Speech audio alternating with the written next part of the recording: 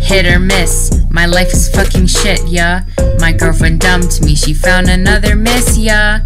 Feeling empty and not wanting to exist, yeah. Getting ready to jump right off of a bridge, yeah. I'm fucking done.